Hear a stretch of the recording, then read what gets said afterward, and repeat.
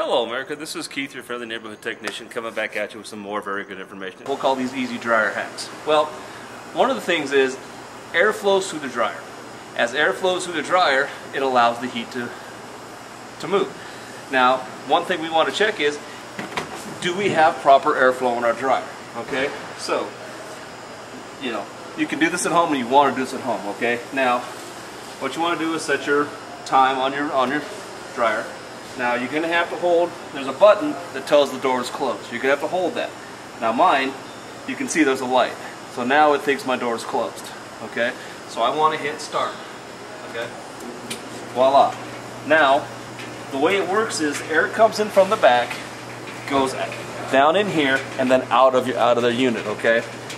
What we want to find out is, is my dryer the issue, or do I have a vent clog somewhere else? So what you can do is take a normal piece of paper, and this is where the suction is supposed to be on my dryer. That's what brings the air to heat down.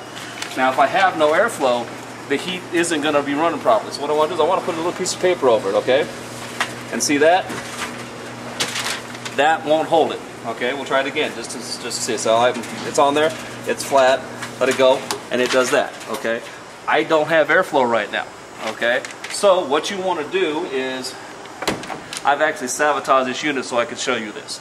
Now, what you want to do is, everybody knows what this is. This is the tube that comes out of the back of your dryer that goes into your house.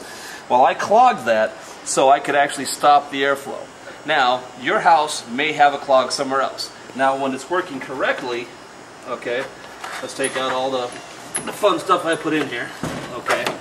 Now, what you want to do is take this either off of the house or off of the back of your dryer. One of the two I would recommend taking it off of the dryer because this can also have a tendency to get clogged. Though I know this one's not, so I'm not gonna I'm not gonna worry about that. So we're gonna do the same thing, okay? I'm gonna tell my dryer that my door is closed. Now be careful not to put your hand in here because this thing does turn, it can grab your finger and it would hurt when it hits. So now, I've taken out, like I said, I manually obstructed that so I could actually show this to you people.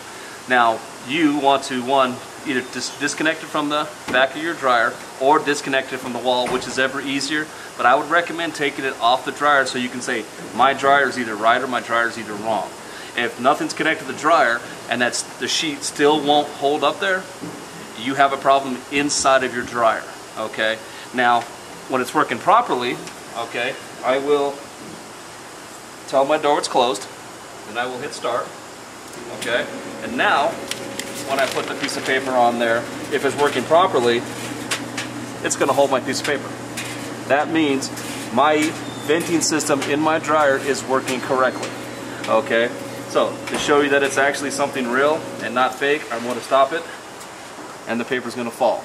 Okay, that's how you can tell if your dryer venting system is it my dryer or is in my house that has venting issues which is causing my heater in my dryer not to heat correctly, which means my clothes are not drying properly.